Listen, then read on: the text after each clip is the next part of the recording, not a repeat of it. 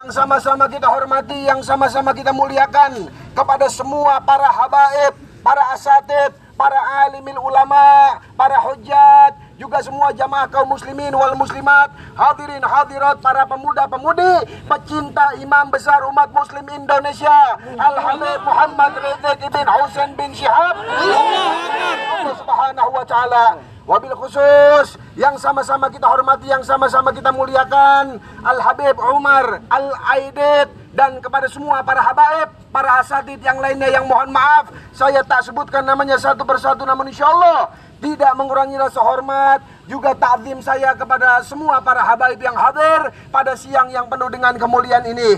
Juga yang sama-sama kita hormati yang sama-sama kita muliakan pihak aparat keamanan dari Polres Kota Bekasi. Kita semuanya pecinta Habibana siap kondusif enggak? Siap! Jaga ketertiban. Siap! Akbar ketahui bahwasanya tujuan duduk hadir kumpul kita pada siang yang penuh dengan kemuliaan ini tak lain dan tak bukan menyatakan kekecewaan kita atas diskriminasi yang terjadi kepada imam besar umat muslim Indonesia Muhammad Ridhi bin Hussein bin Syihab. Betul? Nyawa kita murah buat menjaga beliau betul? kenapa kita tidak turun ke Polda karena kita menghargai daripada instruksi imam kita untuk tidak melakukan kerumunan saat pemeriksaan beliau di Polda Metro Jaya. Betul? Betul. Dan tetapi nyatanya beliau tetap didiskriminasi, beliau tetap dikriminalisasi. Bahkan mereka dengan bangga memborgol tangan imam kita. Betul? Betul. Kita sudah tidak menghargai imamah yang dipakai oleh beliau. Beliau sudah tidak menghargai jubah yang dipakai oleh beliau. Berapa banyak umat muslim yang sakit hati melihat daripada kebiadaban oknum aparat keamanan yang memperlakukan beliau seperti itu. Betul?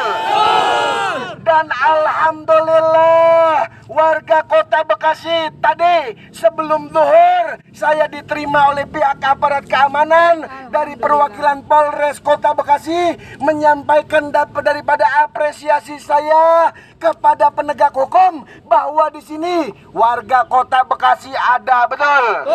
Warga kota Bekasi mayoritas pecinta Habibana betul. Nyawa kita murah untuk menjaga Habibana betul. Dan alhamdulillah pihak aparat keamanan menerima kami dengan baik dan sudah terjadi pertemuan tadi. Pada sholat zuhur dengan perwakilan daripada Polres Kota Bekasi. Dan inti daripada pertemuan tersebut kami sebagai para ulama, para habaib dan masyarakat tidak di Kota Bekasi tidak mau dibenturkan, diadu domba oleh oknum-oknum yang tidak bertanggung jawab oleh keamanan. Kita cinta dengan Bapak polisi, betul.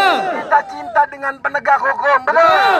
Dan inti daripada poin pertemuan saya dengan Polres Kota Bekasi, pernyataan sikap umat Islam Kota Bekasi yang pada siang hari ini kembali saya bacakan kepada jamaah yang sudah hadir pada siang yang penuh dengan kemuliaan ini. Yang pertama, Bismillahirrahmanirrahim. Pernyataan sikap umat Islam Kota Bekasi atas ketidakadilan hukum terhadap Imam Besar Umat Muslim Indonesia Al-Habib Muhammad Ridzik bin Hussein bin Syihab di NKRI yang kita cintai ini. Yang pertama, jadi empat poin daripada sikap kita. Yang pertama, pemerintah harus segera membentuk tim investigasi netral atas pembantaian enam syuhada anggota FPI. Karawang betul. Kemudian yang kedua, kita meminta kepada aparat keamanan bebaskan imam besar umat muslim Indonesia Al-Habib Muhammad Ridzik bin Husain bin Syihab tanpa syarat. Kemudian yang ketiga, yang ketiga, jangan ada kriminalisasi terhadap ulama, termasuk kriminalisasi terhadap Al Habib Muhammad Ridzik bin Husain bin Syihab. Betul? Dan yang terakhir, tegakkan keadilan dan tidak ada diskriminasi hukum kepada siapa pun, termasuk kepada Al Habib Muhammad Ridzik bin Husain bin Syihab. Demikian pernyataan sikap kami sebagai umat Islam Kota Bekasi agar Indonesia terkhusus Kota Bekasi tetap terbebas dari oknum yang mendiskriminasikan hukum. Betul? Oleh karena itu demikian daripada pernyataan sikap yang saya sampaikan kepada Polres Kota Bekasi. Mungkin uh, sedikit akan ada yang disampaikan dari Habib Omar Aidit untuk pernyataan daripada sikap ini atau ada perwakilan dari um, jamaah yang mau menyampaikan daripada aspirasinya? Insya Allah hasil empat poin ini akan disampaikan ke pusat. Amin. Tadi pihak aparat keamanan sudah menyampaikan kepada saya empat poin yang kami sampaikan insya Allah akan disampaikan ke pemerintah pusat. Takbir. Dan yang bisa saya sampaikan mudah-mudahan para jamaah dengan hadir kumpul kita pada siang yang penuh dengan kemuliaan ini menjadi catatan amal yang membanggakan. Amin. Kita bagian dari orang yang tidak rela cucu Nabi Muhammad didiskriminasi. Betul. Betul. Takbir. Fanfan Nabi barakatihim. Wahdinal husna bihormatihim. Wa fi tariqatihim. Wa minal fitani. Allahumma sallimna.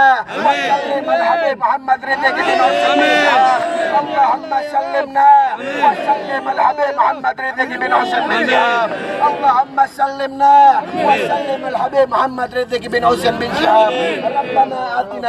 hasanah wa fil akhirati hasanah على سيدنا محمد وسلم. والحمد لله رب العالمين بشير الفاتحة بسم الله الرحمن الرحيم الحمد لله رب العالمين الرحمن الرحيم مالك يوم الدين إياك نعبد صراط المستقيم صراط الذين أنعمت عليهم غير المغضوب عليهم ولا الضالين رب اغفر لي ولوالدي amin dan untuk penutup daripada agar kita bisa burbar dalam keadaan tertib kita mintakan daripada sambutan uh, dari pihak perwakilan daripada pihak aparat keamanan pada siang hari ini agar kita semuanya tetap bisa kondusif kepadanya waktu dan tempat dipersilakan takbir